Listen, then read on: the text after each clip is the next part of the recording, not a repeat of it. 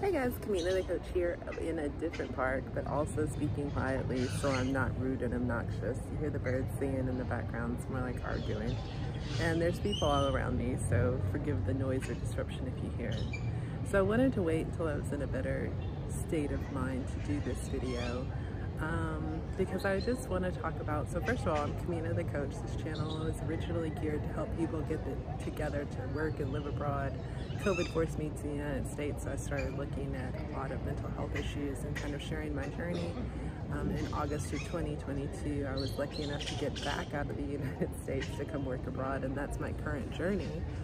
So this video is going to be um, slightly related to that and always some relation to or some tie back to mental health as well.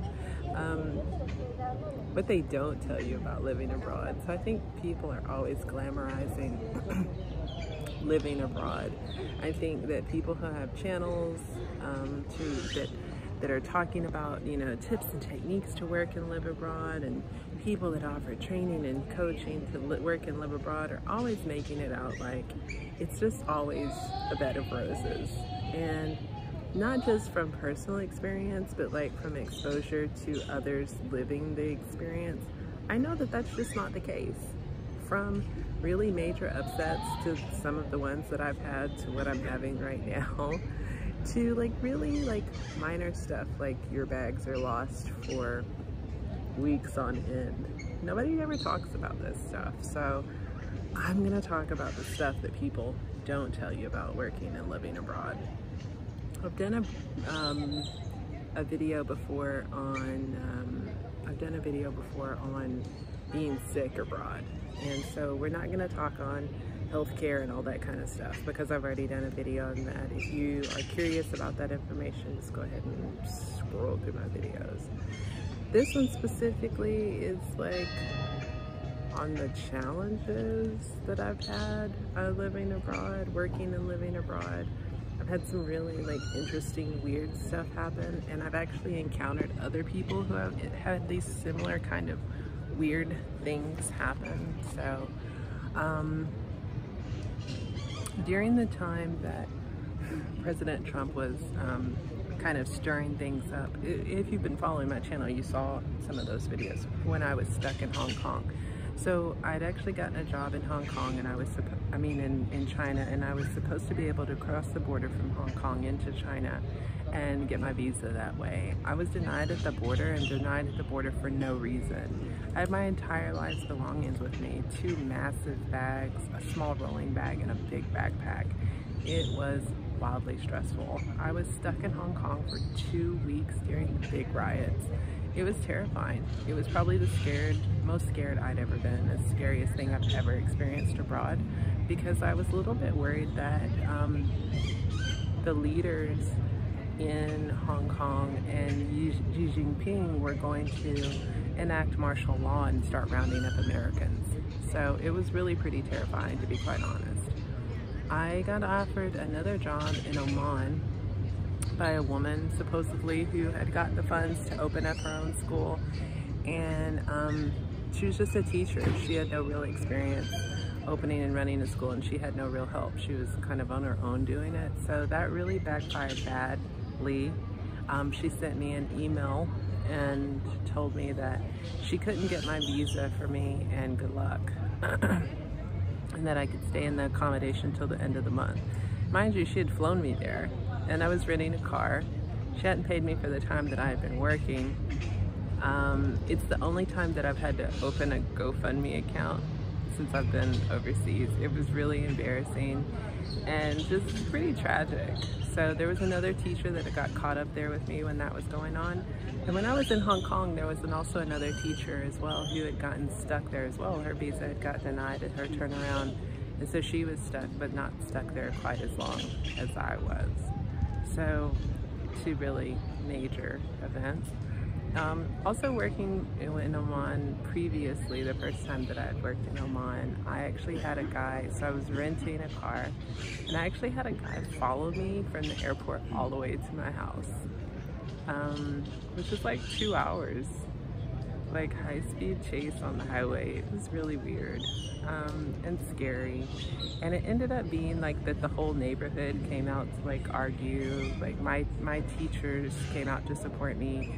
The guy that I rent my car from um, was Moroccan. He came out to like fuss and argue. It was pretty stressful um, to say the least. And I ended up getting permission from the company to leave that contract because they actually ended up breaking the windows of my car out in retaliation because I did end up filing charges on the guy but I ended up dropping charges when they like broke the windows on my car.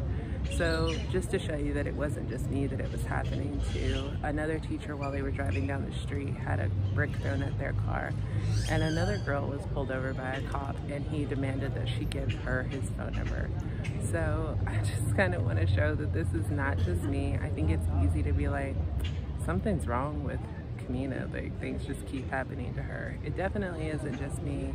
It just happens to be maybe only me that's keeping it real with the public about all the craziness that happens. So what is going on right now? So I'm currently in Mexico, super thankful, no matter the dramatic, mildly traumatic story I'm about to tell. Um, I'm still thankful nonetheless to be out of the United States, I've got to be honest. Um, I left the United States with only about $3,000. That went away really quickly because I needed to establish myself um, in the state that I was going to be living in. I didn't like the city I was in. It was very industrial-like, very gray and ugly, so I didn't stay there for very long. And so about a month and a half, I moved up to Cabo San Lucas. Also didn't like it. It was a lot of teaching hours, really expensive, really expensive because of um, Americans moving down and gentrifying, driving up the cost of living. It was just a really not a pleasant place to work or live. So I eventually ended up here in Chiapas, Mexico, and as soon as I got here, I got an offer to go to work in Iraq making really good money.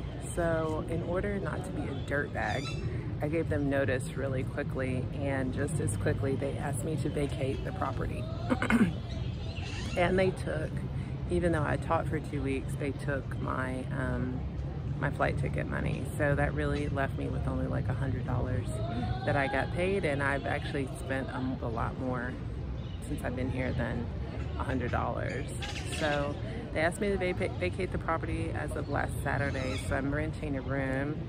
I had to rent an economical room, so I'd say today it's probably about in the sun, probably about 89 degrees, 85 degrees, and there's not an AC in my room, it's just a fan, there, which would be fine if there was a window, but there's no window in the room. The only windows lead to the hallway. Um, also, and probably the biggest problem is there's bugs. Um, this is where um, vacuum sealing your clothes really comes in handy. So I'm not worried about getting bugs in my clothes, thank goodness, because they're vacuum sealed. I only have like a small bag of clothes that I'm working from and I continue to have them washed. But um, yeah, so there's bugs, those kind of bugs, and there's ants in my my bathroom. I mean, full of ants. Like I'll spray the wall and just sheets of ants fall off onto the ground, which is pretty creepy. So um, I have to eat out every day because obviously there's bugs in the room, so I can't have food in the room. And so it's all pretty expensive. I got the room anticipating, like my director told me that I would be flying to Iraq um, 2nd of January. It turns out that I'm probably not flying until like the 20th of January. So today's like the 22nd of December 2022. So I am effectively stuck in this room a whole another month. Um, figuring out how to budget eating. So I'm eating like once a day. I sleep really, really late. Um, trying to like pass hours so I can get away with eating once a day. I try to eat like at two or three in the afternoon. Um, I go back to the room right before the sun sets. Um, well because I don't want to get eaten alive by mosquitoes and I don't want to be like really out in the streets too much in the dark and really I don't have money to spend even if I was out here and then I just kind of study and kind of chat with a friend in the evening until about 12 and then I try to sleep as late as possible. So that's my current situation. It's not, again, I, I don't want to sound ungrateful because I, I actually am thankful to be out of the United States. It's just one of those things with living and working abroad. And I just think people don't talk about how stressful it can be enough. Um, even as stressful as it is, I still feel much calmer than I ever would in the United States and I'm not going back. But yeah, this is definitely um, not the easiest lifestyle in the world.